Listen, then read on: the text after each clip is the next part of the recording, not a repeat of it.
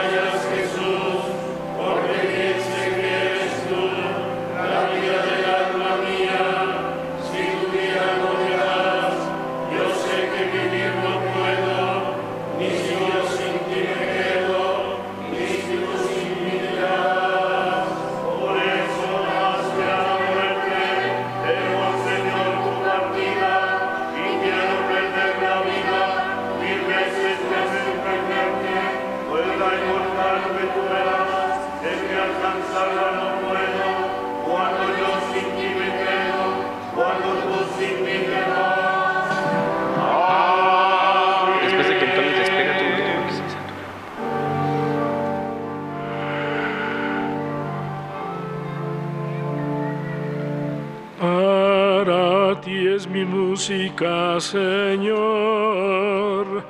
voy a explicar el camino perfecto.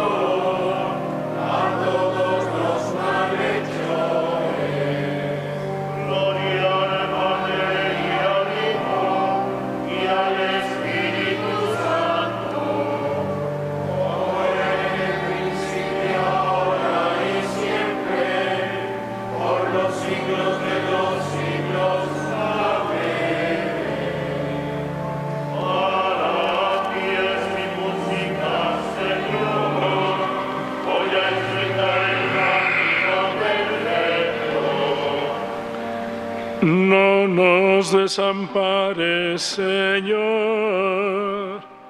para siempre.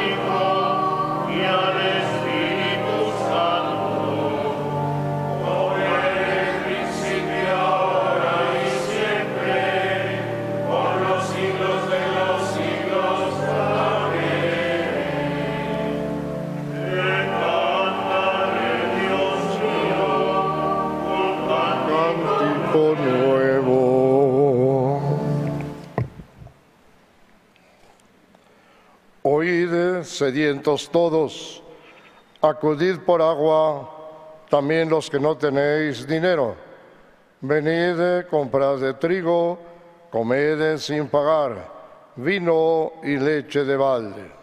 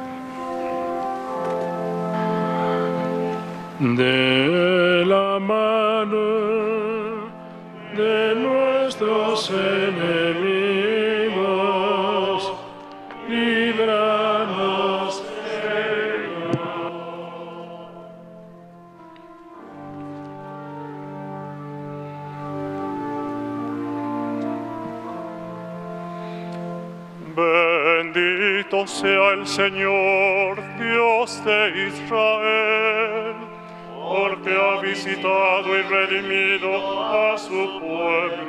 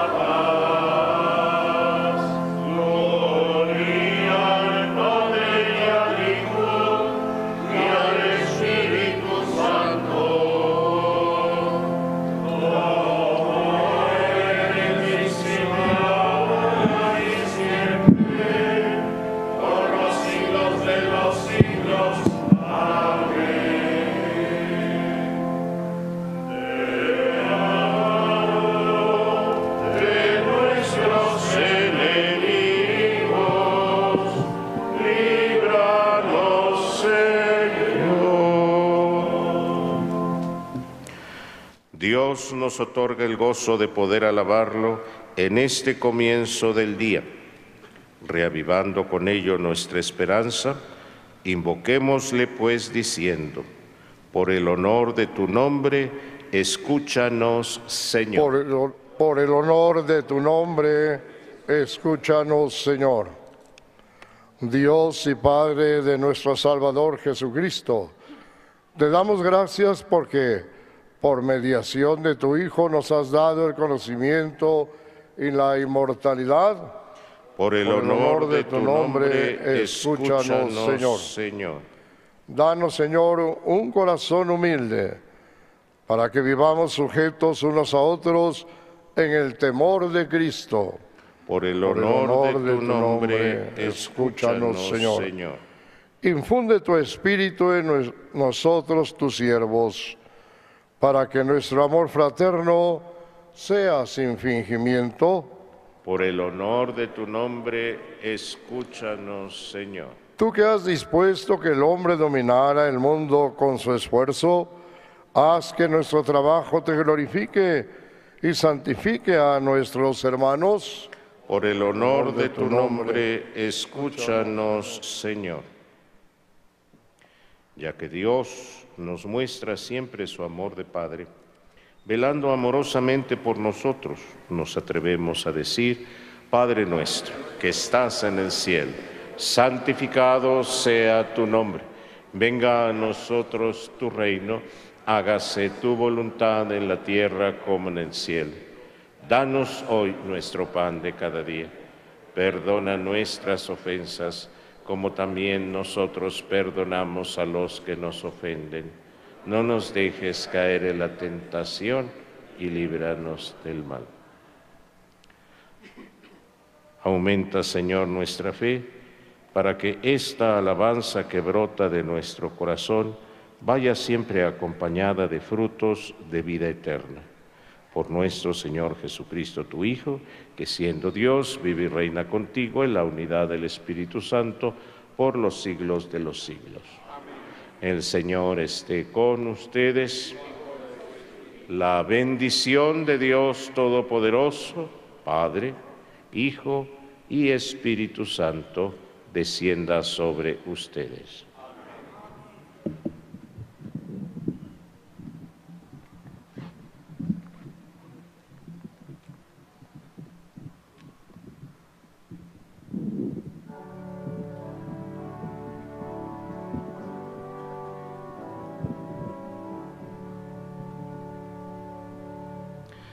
Bajo tu amparo nos acogemos.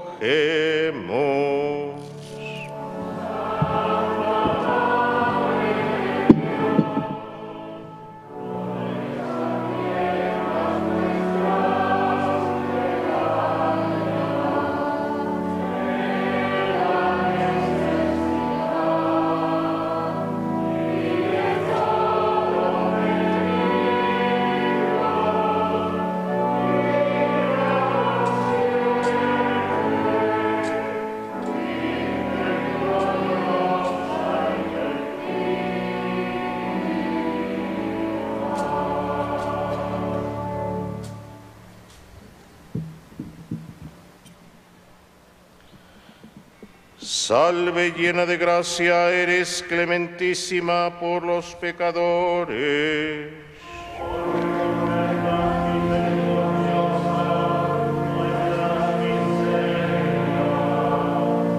Oremos. Padre de misericordia que has puesto a estos pueblos tuyos bajo la especial protección de la siempre Virgen María de Guadalupe, Madre de tu Hijo, concédenos por su intercesión profundizar en nuestra fe y buscar el progreso de América por caminos de justicia y de paz. Por Jesucristo nuestro Señor. El auxilio divino permanezca siempre con nosotros.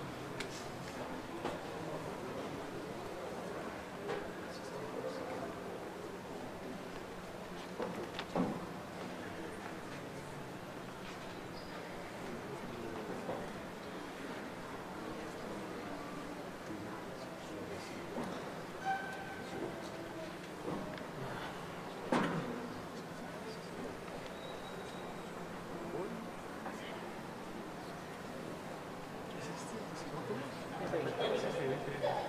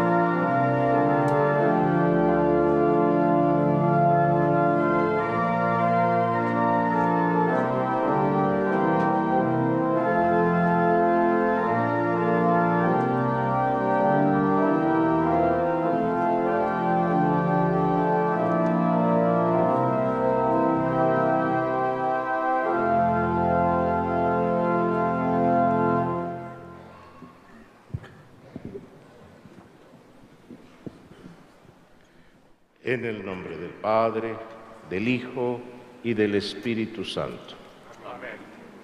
El Señor esté con ustedes. Hermanos, hermanas, muy buenos días.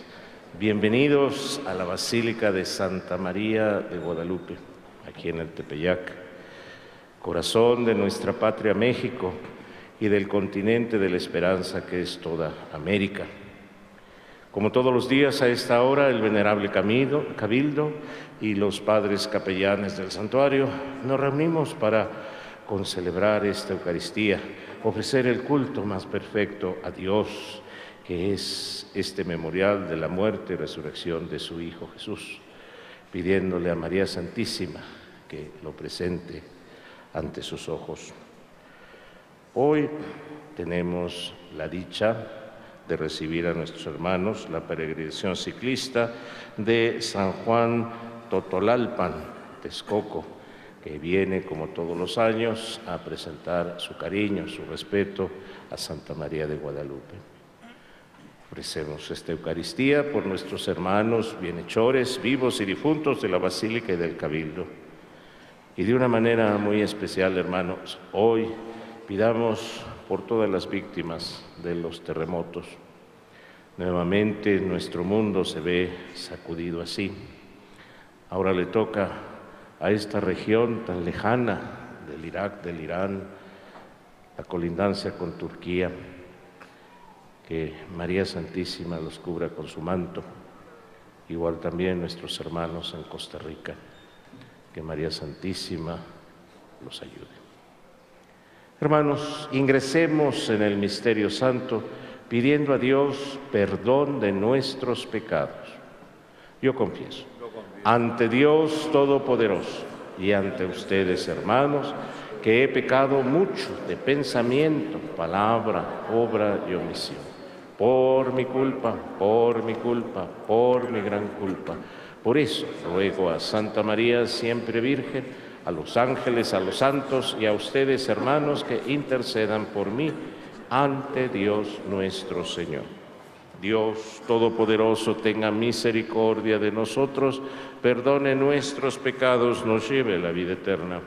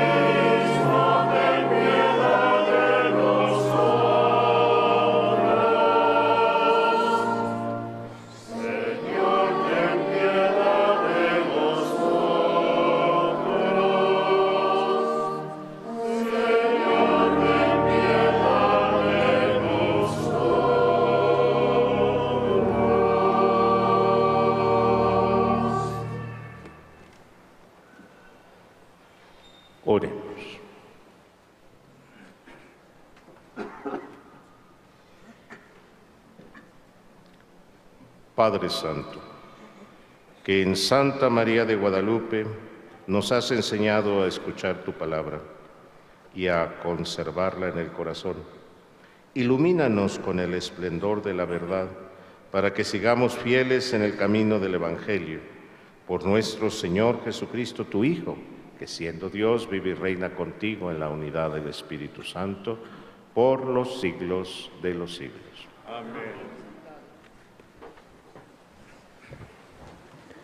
Del libro de la sabiduría.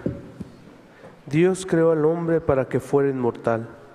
Lo hizo imagen y semejanza de sí mismo. Mas, por envidia del diablo, entró la muerte en el mundo y la experimentan quienes le pertenecen. En cambio, las almas de los justos están en las manos de Dios y no los alcanzará ningún tormento. Los insensatos pensaban que los justos habían muerto que su salida de este mundo una desgracia y su salida de entre nosotros una completa destrucción, pero los justos están en paz. La gente pensaba que sus sufrimientos eran un castigo, pero ellos esperaban confiadamente la inmortalidad. Después de breves sufrimientos, recibirán una abundante recompensa, pues Dios los puso a prueba y los halló dignos de sí. Los probó como oro en el crisol y los aceptó como un holocausto agradable. En el día del juicio brillarán los justos como chispas que se propagan en un cañaveral. Juzgarán a las naciones y dominarán a los pueblos, y el Señor reinará eternamente sobre ellos. Los que confían en el Señor comprenderán la verdad, y los que son fieles a su amor permanecerán a su lado, porque Dios ama a sus elegidos y cuida de ellos. Palabra de Dios.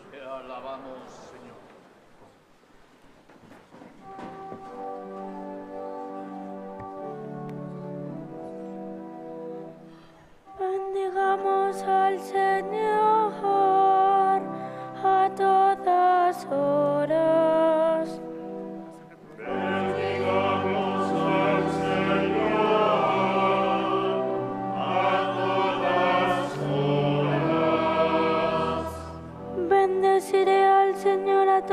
Horas. No cesará mi boca de alabarlo.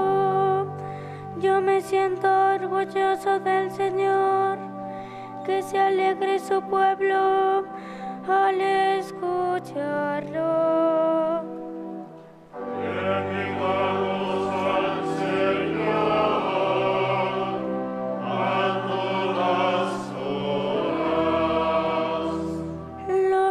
Ojos del Señor cuidan al justo y a su clamor están atentos sus oídos.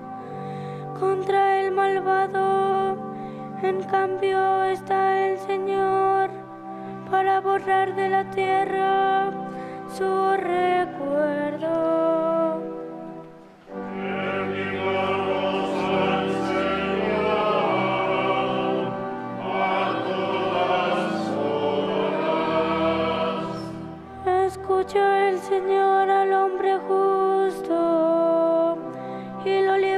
Todas sus congojas. El Señor no está lejos de sus fieles y levanta a las almas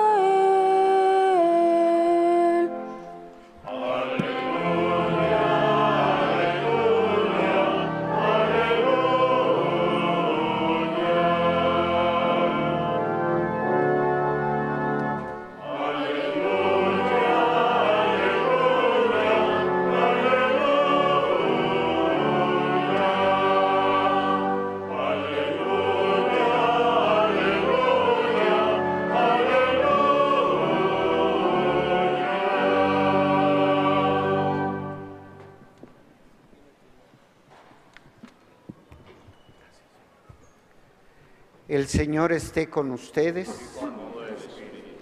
Del Santo Evangelio según San Lucas.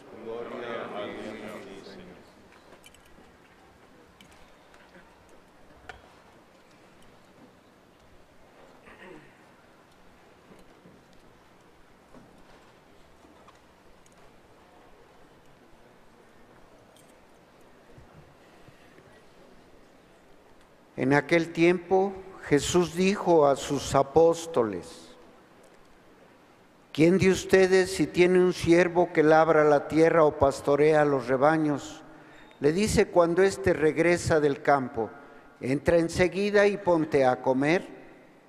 No, no le dirá más bien, prepárame de comer y disponte a servirme, para que yo coma y beba, después comerás y beberás tú. ¿Tendrá acaso que mostrarse agradecido con el siervo porque éste cumplió con su obligación? Así también ustedes, cuando hayan cumplido todo lo que se les ha mandado, digan, no somos más que siervos, solo hemos hecho lo que teníamos que hacer. Palabra del Señor.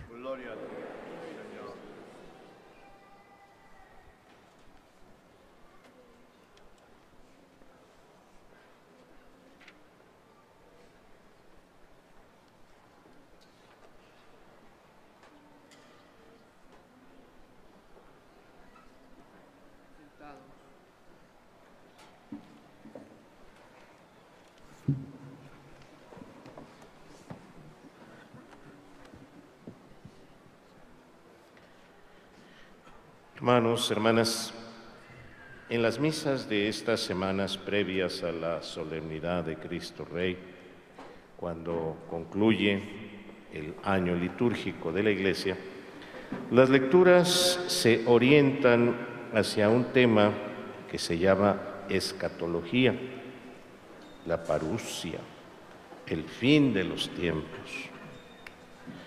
Qué importante es tener nuestra fe con claridad respecto de lo que será la consumación de los tiempos, de nuestra historia y el inicio del reinado pleno de Dios. Hoy, hermanos, hemos escuchado en la primera lectura proveniente del Antiguo Testamento en el libro de la sabiduría la fundamentación de la doctrina católica sobre la inmortalidad de nuestra alma. La afirmación, la hemos escuchado, se inicia con una firme declaración. Dios creó al hombre para que fuera inmortal. Sin embargo, por envidia del diablo entró la muerte en el mundo y todos lo experimentamos esta finitud.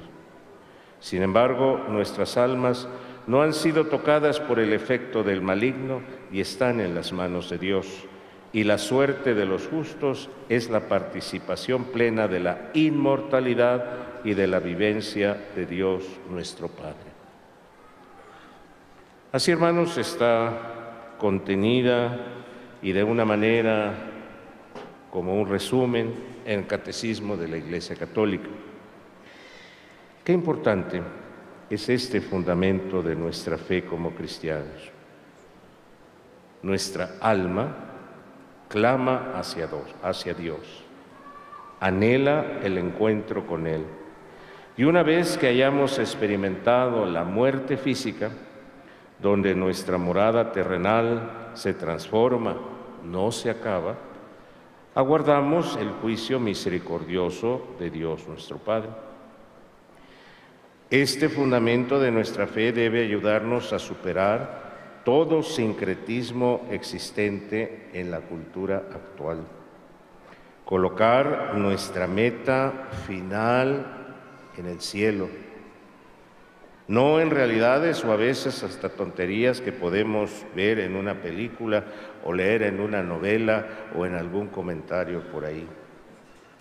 Debemos prepararnos aguardando en la misericordia de Dios para ir a su encuentro y contemplarlo tal cual es.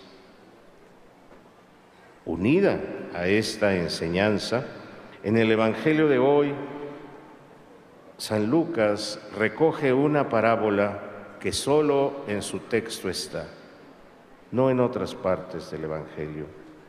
Y esta parábola quiere enseñarnos cómo nuestra vida debe caracterizarse siempre y nuevamente hasta el final en una actitud de servicio. La parábola empieza con tres preguntas sacadas de la vida ordinaria, de las cuales los oyentes pues ya adivinaban la respuesta. Las preguntas son formuladas de manera que invitan a cada uno de los oyentes de Jesús a que piense en su propia experiencia y desde su propia experiencia cada apóstol trate de dar su respuesta personal. La primera pregunta, ¿quién de ustedes si tiene un siervo? Y el texto original griego es, ¿quién tiene un esclavo? Arando y pastoreando, cuando regresa del campo le dice, pasa un momento, ponte a la mesa. Pues todo el mundo respondió, no señor, eso no se hace.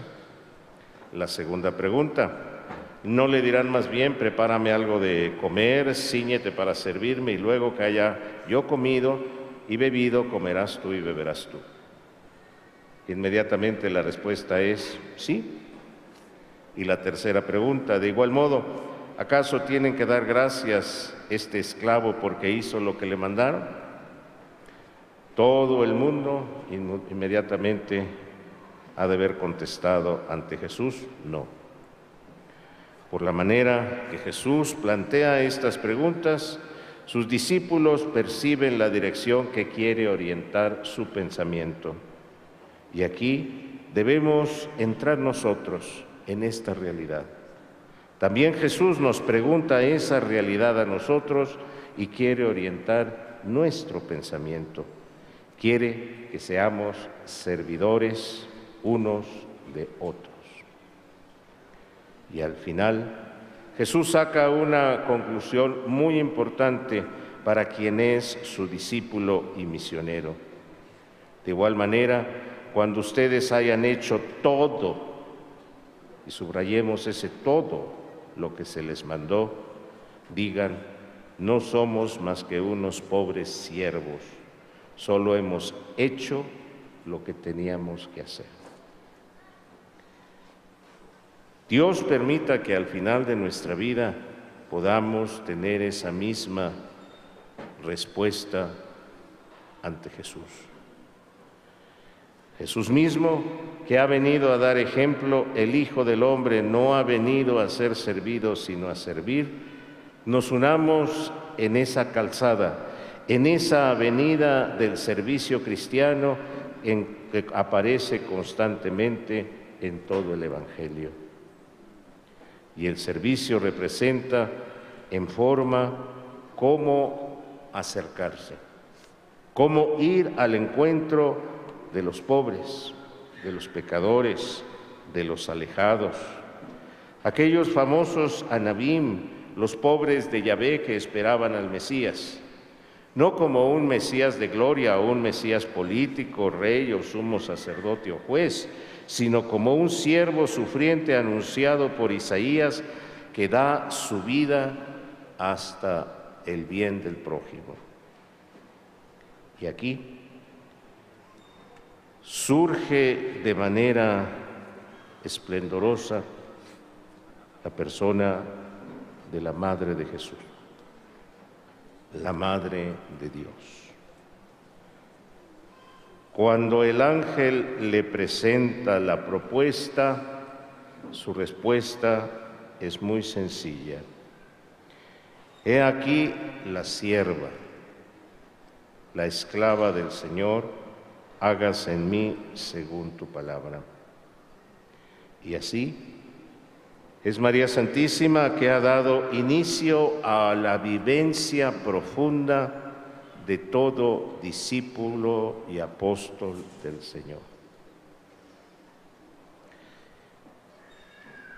Cada uno le toca el decir, me uno a esta iniciativa de María, al haber inaugurado todo un camino del servicio. Recordemos que a lo largo del Evangelio constantemente Jesús se presenta así. Y de manera profunda nos dice, quien quiera ser el primero, se haga el último, el siervo de todos. Pablo Toma esta experiencia de la comunidad de los apóstoles y de Cristo mismo y escribe, no soy más que un siervo inútil. Pues bien, nos queda a nosotros profundizar sobre esta respuesta. ¿Qué es esa realidad? Sino la profundidad del mismo acto de salvación de Cristo que se ha nonadado, que se ha encarnado. Dios hecho hombre que ha venido a restituir toda la naturaleza humana. Y nos invita a entrar en esa kenosis, en ese anonadamiento en salir de nosotros mismos y llegar al absurdo lógico de considerarnos siervos inútiles para el mundo, mas no para el plan de Dios que sabe el por qué nos ha llamado a la alegría, a la abundancia de la vida eterna. Y hermanos, esta realidad del Evangelio esta enseñanza que brota del libro de la sabiduría. La conoció muy bien nuestro hermano San Juan Diego Cuautlatoatzin. Aproximadamente a los 50 años recibió el bautismo. Durante siete años iba y venía profundizando la doctrina cristiana, la doctrina católica y el sábado 9 de diciembre de 1531, en camino a una de sus catequesis en Tlatelolco, se encuentra con la sierva del Señor. E ingresa a él en la dinámica de ser siervo, de ser enviado, de ser el portador, el embajador de su aliento su palabra queda en su corazón. Construir la casita sagrada de la Madre del arraigadísimo Dios por quien se vive. Su gran misión de servicio la destacamos no únicamente en estos momentos de las apariciones, sino durante los 17 años posteriores a las apariciones, donde nuestro hermano San Juan Diego Cuautlatoatzin vivió cerquita de ella, viviendo a cada instante esa primera invitación de ella de esa fría mañana del 9 de diciembre.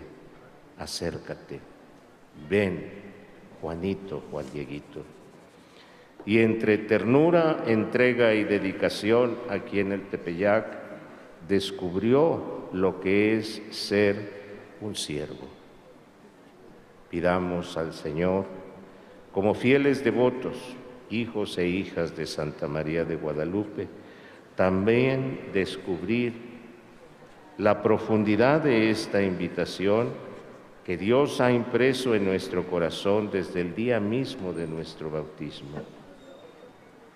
¿qué responderemos? ¿Me atrevo a ser siervo? Y más profundamente, de ser ese siervo inútil que necesita de toda la misericordia de mi Padre Dios.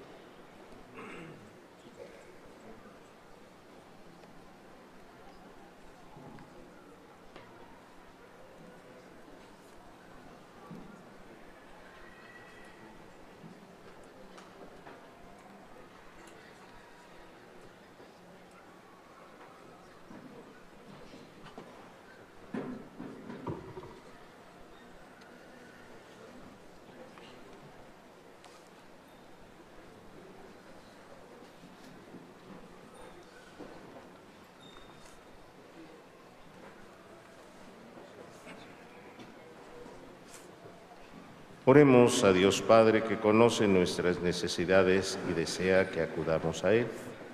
A cada una de nuestras peticiones respondemos, Padre, escúchanos. Padre, escúchanos. para que el Señor derrame su espíritu sobre los ministros de la Iglesia y santifique a los religiosos. Oremos. Padre, escúchanos. Para que desaparezca el odio en el mundo y haya concordia entre las naciones. Oremos. Padre, escúchanos. Para que los pecadores se conviertan y los enfermos recuperen la salud. Oremos. Padre, escúchanos. Para que Dios aleje de nosotros todo mal. Oremos. Padre, escúchanos. Para que durante el día que hoy nos esforcemos por sembrar unión donde hay discordia y amor donde reine el odio. Oremos. Padre, escúchanos. Por nuestros hermanos peregrinos de San Juan, Totolapan, Texcoco, oremos. Padre, escúchanos. Y pidamos por nuestro hermano, el muy ilustre señor canónigo, Monseñor Diego Monroy, por el día de su onomástico, al llevar este nombre de San Diego, Diego, que también recibió Juan Dieguito. Roguemos por él y por su ministerio, roguemos al Señor. Padre. Muéstrate propicio con tus hijos, Señor. Multiplica sobre ellos los dones de tu gracia para que alcancen los bienes que te han pedido y perseveren siempre fieles en tu servicio por Jesucristo nuestro Señor. Amén.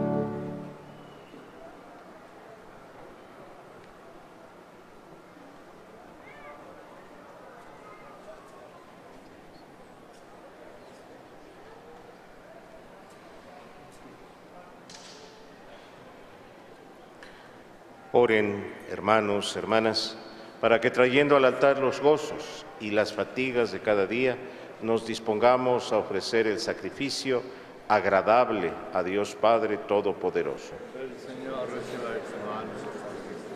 Alabanza y gloria de su nombre. Para nuestro bien de todos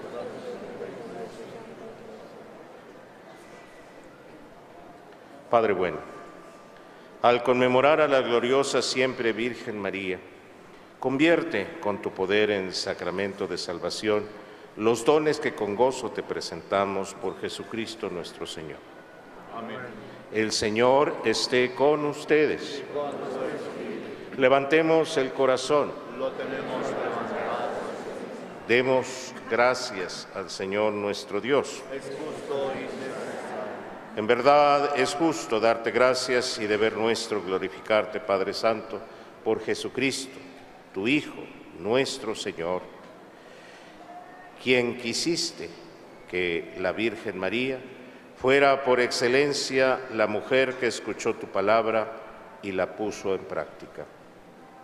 Al ponernos nosotros bajo la mirada protectora de Santa María de Guadalupe, aprendemos de ella, maestra de la palabra, que es posible con tu gracia vivir conforme al Evangelio que tu Hijo nos entregó, y así recorrer con gozo el camino que conduce a la morada eterna. Por eso, con todos los ángeles y santos, te alabamos y proclamamos sin cesar.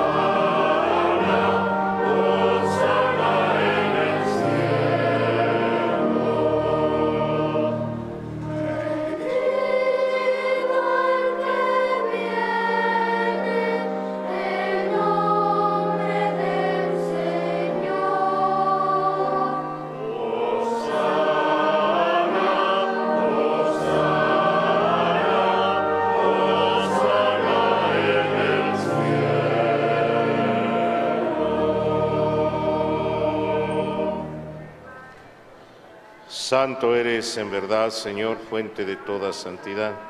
Por eso te pedimos que santifiques estos dones con la efusión de tu Espíritu, de manera que se conviertan para nosotros en el cuerpo y la sangre de Jesucristo nuestro Señor, el cual, cuando iba a ser entregado a su pasión voluntariamente aceptada, tomó pan. Dándote gracias, lo partió y lo dio a sus discípulos, diciendo, tomen y coman todos de él, porque esto es mi cuerpo que será entregado por ustedes.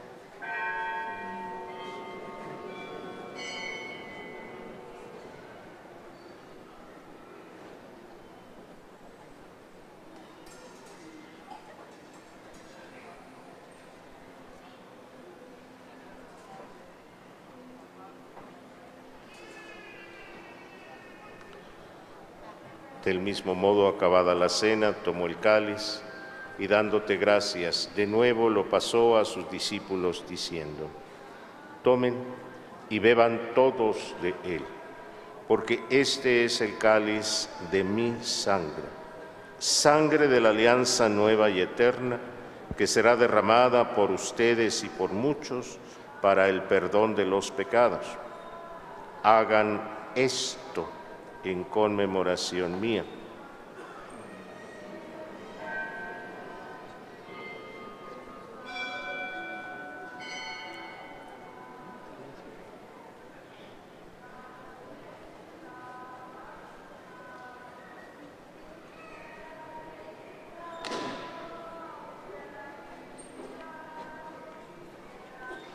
Hermanos, hermanas, este es el sacramento de nuestra fe.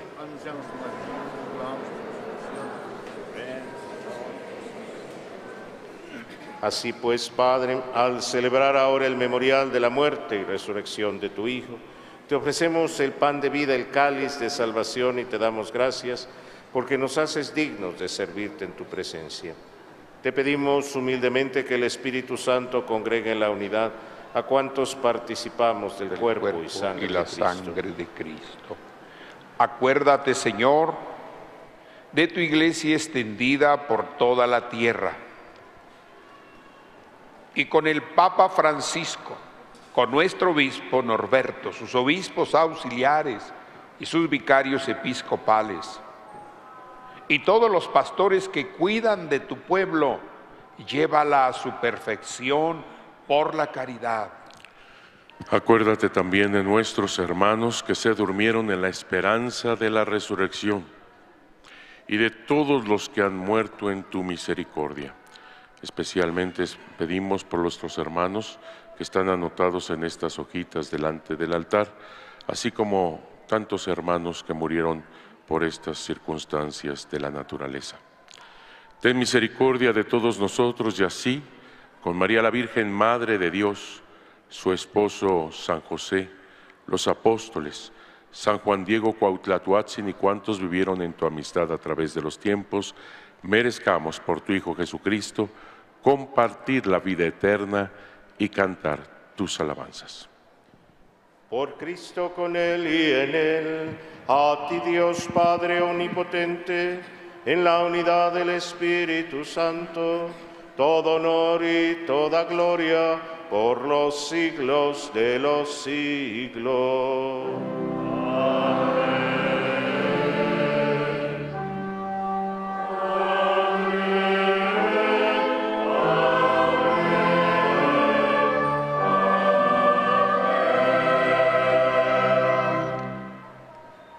Hermanos, hermanas, fieles a la recomendación del Salvador y siguiendo su divina enseñanza, nos atrevemos a decir, Padre nuestro que estás en el cielo, santificado sea tu nombre.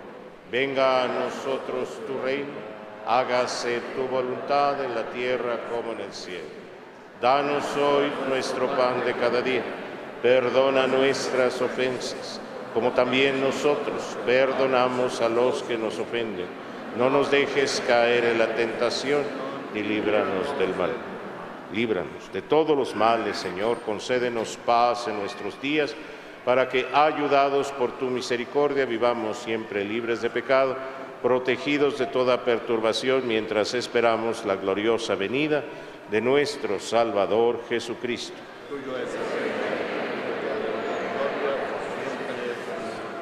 Señor Jesucristo, que dijiste a tus apóstoles, la paz os dejo, mi paz os doy, no tengas en cuenta nuestros pecados, sino la fe de tu iglesia.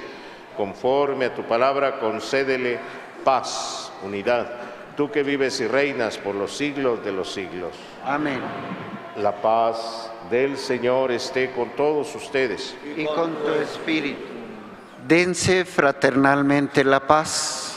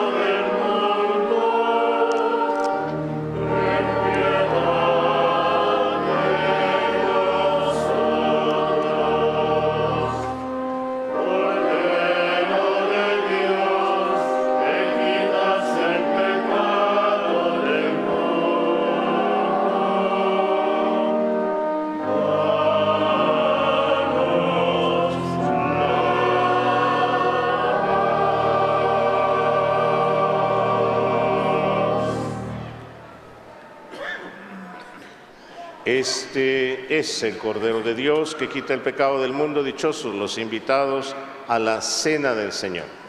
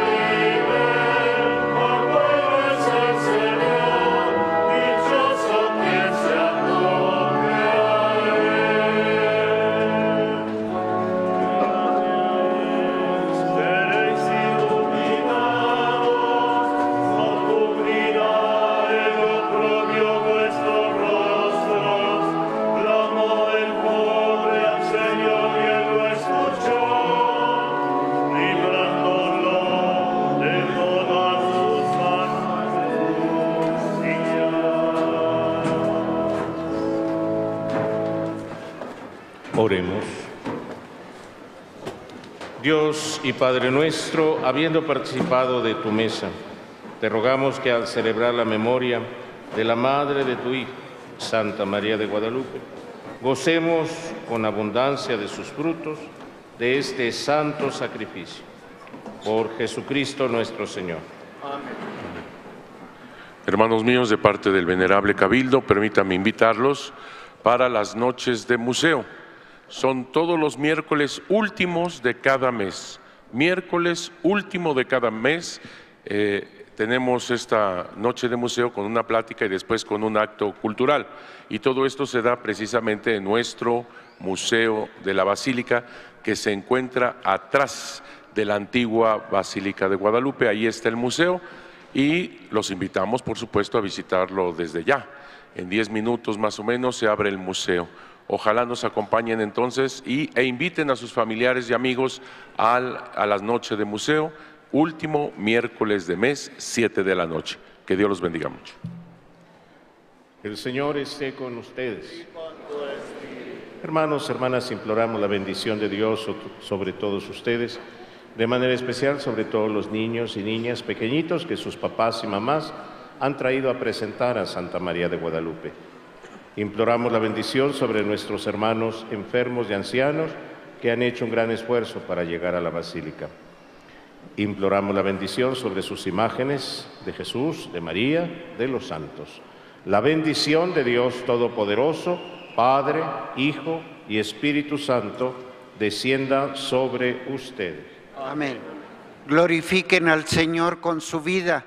Pueden ir en paz.